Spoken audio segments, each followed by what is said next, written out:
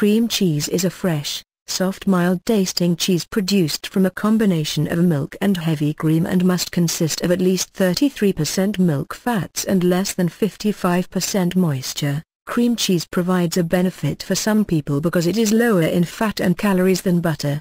If there is a battle between butter and cream cheese, your lower calories and a lower fat choice is cream cheese.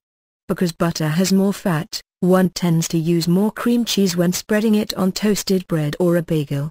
However, if you use the same amount then go with cream cheese but if you are going for flavor go with butter and used less. It has more taste for its fat content.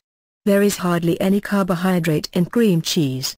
A single serving provides less than 1 gram 0.6 grams to be exact, primarily in the form of sugar.